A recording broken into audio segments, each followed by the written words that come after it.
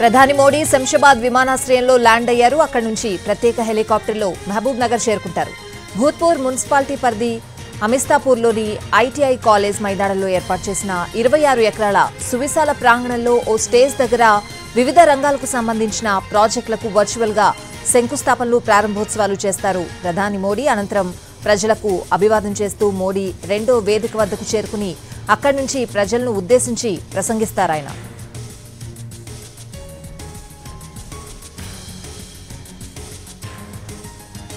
Right. Shamshabad ఎయిర్పోర్ట్కి చేరుకున్నారు ప్రధాని మోడీ. మా ప్రతినిధి సతీష్ లైవ్లో సిద్ధంగా ఉన్నారు. సతీష్. కొద్దిసేపటి క్రితమే ఆ శంషాబాద్ ఎయిర్పోర్ట్కి ప్రధాని నరేంద్ర మోడీ చేరుకున్నారు. ఇక్కడ నుంచి మహబూబ్ నగర్ కూడా బయలుదేరారు. ప్రత్యేక హెలికాప్టర్లో ఇక్కడ నుంచి బయలుదేరి వెళ్ళారు. హైదరాబాద్కి వచ్చినటువంటి మోడీకి ఇటు బీజేపీకి సంబంధించినటువంటి నేతలతో పాటుగా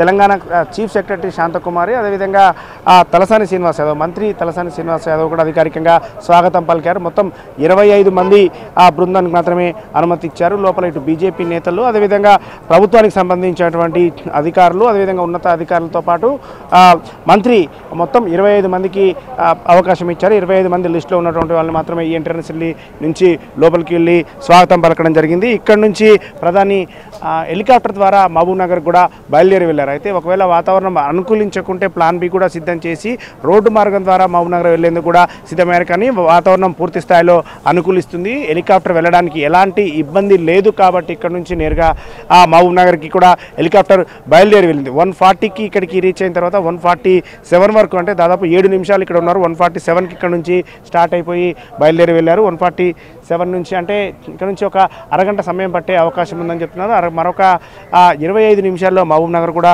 చేరుకోబోతున్నారు. మహబూబ్ నగర్లో ల్యాండ్ అయిన తర్వాత హెలికాప్టర్ ల్యాండ్ అయిన తర్వాత అక్కడ ప్రత్యేకమైనటువంటి హెలిప్యాడ్ని కూడా సిద్ధం చేశారు. మహబూబ్ నగర్లో ఎయిర్పోర్ట్ లేదు కాబట్టి ప్రత్యేకంగా ఈ హెలికాప్టర్ మాత్రమే ప్రధాని హెలికాప్టర్ మాత్రమే దిగేందుకు ప్రత్యేకంగా హెలిప్యాడ్ని ఏర్పాటు చేశారు. ఆ హెలిప్యాడ్ దగ్గర దిగిన తర్వాత ఆయన కొన్ని శంకుస్థాపనలు అదేవిధంగా ప్రారంభోత్సవాలు. ఈ విధంగా అభివృద్ధి కార్యక్రమాల్లో పాల్గొనబోతున్నారు. దాదాపు పదమూడు వేల కోట్ల రూపాయల అభివృద్ధి కార్యక్రమాల్లో పాల్గొన్న తర్వాత ఆ బహిరంగ సభ ద్వారా అంటే బీజేపీ నిర్వహిస్తున్నటువంటి బహిరంగ సభలో ఆయన పాల్గొనబోతున్నారు. ఇక్కడి నుంచి ఒక ఎన్నికల శంకారావమే అని చెప్పొచ్చు.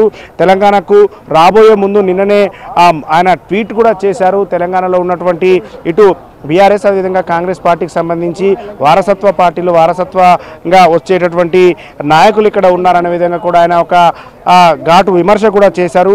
ఈరోజు ఏం మాట్లాడబోతున్నారు అనేది అయితే ఒక ఉత్కంఠగా ఉంది. ఎన్నికల శంకరావమే అని చెప్పుకోవచ్చు. మరికొన్ని రోజుల్లోనే ఆ ఎన్నికల నోటిఫికేషన్ కూడా వస్తుందని చెప్ప చెప్పుకుంటున్నటువంటి ఈ సమయంలో ప్రధాని నరేంద్ర మోడీ అంటే పర్యటన ఒక చర్చనీయ చర్చనీయాంశమైంది.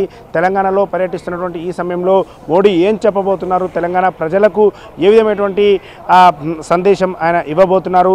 ఆ తెలంగాణ ప్రజలతో పాటుగా ఇటు భారతీయ పార్టీ భారతీయ జనతా పార్టీ శ్రేణులకు ఆయన ఏం చెప్పబోతున్నారు? ఎన్నికల రంగంలోకి దిగినట్టేనే అనే విధంగా కూడా చర్చ జరుగుతుంది. వన్ ఒకటి ఐదుకి మొదట అనుకున్నారు కానీ తర్వాత వన్ థర్టీ వరకు కూడా డిలే అయింది. తర్వాత వన్ ఫార్టీకి ఇక్కడ చేరుకున్నారు ఎయిర్పోర్ట్కు చేరుకున్న ఆ నరేంద్ర మోడీ. ఏడు నిమిషాల తర్వాత హెలికాప్టర్లు కూడా వెళ్ళి మ- మరికొద్ది సేపట్లో మహబూబ్ నగర్కి కూడా ఆయన చేరుకోబోతున్నారు. మహబూబ్ నగర్కి చేరుకున్న తర్వాత అయితే మళ్ళీ రిటర్న్ కూడా బహిరంగ సభ తర్వాత రిటర్న్ కూడా ఆయన అక్కడి నుంచి నేరుగా హెలికాప్టర్ ద్వారానే మళ్ళీ ఇదే ఎయిర్పోర్ట్కి రాబోతున్నారు. ఇక్కడ ప్రత్యేకంగా ఆయన వచ్చినటువంటి ఢిల్లీ నుంచి ఇక్కడికి వచ్చినటువంటి ప్రత్యేక విమానంలోనే మళ్ళీ ఢిల్లీకి కూడా వెళ్ళబోతున్నారు.